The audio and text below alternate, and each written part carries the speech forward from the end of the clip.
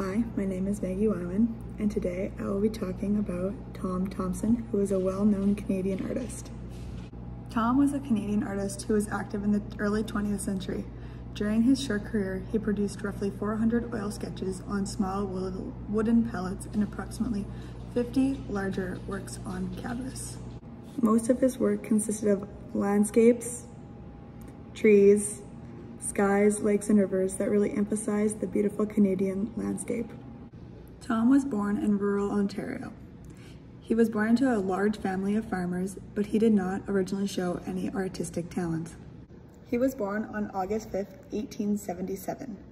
He is the sixth child of 10 to John and Margaret Thomson. Many things throughout his short life affected not only Tom himself, but his art. There are many examples of change that had an effect on Tom's life, plus art. We will be talking about the key changes. One of the challenges Tom had to face came at a very, very early age. He had to be taken out of school for a year because of his ill health.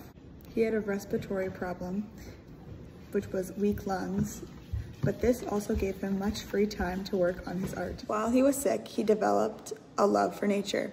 This helped discover, help him discover his personal art style. A change of scenery helped develop style even more for Tom. Tom's family was not very successful at farming because they would often take walks and abandon their chores to go hiking and fishing and hunting. Tom loved sports, and he once broke his toe while playing football. He was excellent at swimming and fishing, he inherited his passion from a ladder from his grandfather and father. Because he was born into a family of farmers with no artistic talent, once he got into Ontario's College of Art and Design, he was hit with the troubles of becoming an artist. Tom was a runner up for the group of seven, and he was also self taught.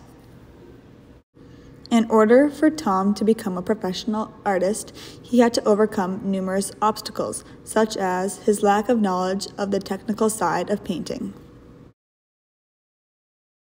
Tom died on July 8, 1917, at the age of 39. Tom's accidental death by drowning occurred at Canoe Lake. I decided to make my diorama off Tom's original painting called Into the Northland. I really like how Tom was able to create capture some of the beautiful images of our Canadian landscape. The tree that falling over with all of the orange leaves really represents the maple on our Canadian flag. To create my diorama, I started off by cutting a box from an old projector into four pieces. I then taped uh, three, no, four of the five pieces of cardboard together to create a shape that would make my diorama possible. I then went outside and started to look for branches that were broken off on the ground, leaves, rocks, and some grass. Because it's not fall, like shown in the original picture of Tom's, I had to paint my leaves orange and some of the rocks orange too to create the illusion that it was um, fall. To create the illusion of uh, the blue sky in the background going from, like I think it's showing that the sun is kind of setting, um, I used felt. I used three colors of blue felt that was a dark blue, then more of a turquoise blue, and then a light blue.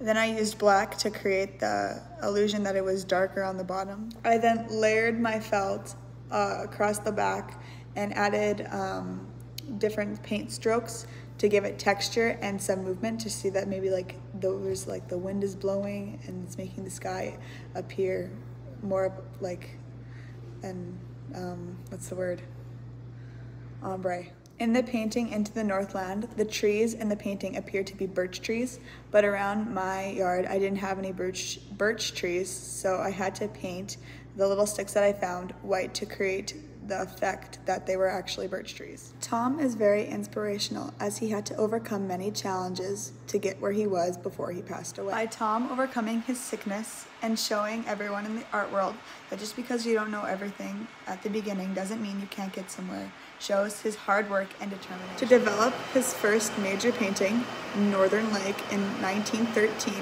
Tom selected one of his sketches from his trip to Algonquin Park and transformed it into a picture with greater depth in the foreground. This method of working from an on-the-spot sketch to a finished studio painting became his common practice. By 1915, Tom was creating the oil paint sketches and canvases that had come to represent Canada as it is imagined by most Canadians. Nature was clearly his touchstone, and throughout his career, he turned to nature as his His method was to capture moments of light and atmosphere by sketching quickly in oil forms of nature, sometimes developing these sketches in full-blown full blown celebration. Tom's art is an inspiration for all Canadians. The way he was able to capture the Canadian landscape shows how talented he really he was. He overcame many challenges in his life and was still able to be successful. This shows me and people all over Canada and the world that hard work and determination really pays off. If you have a goal, you shouldn't nothing should stop you from reaching it.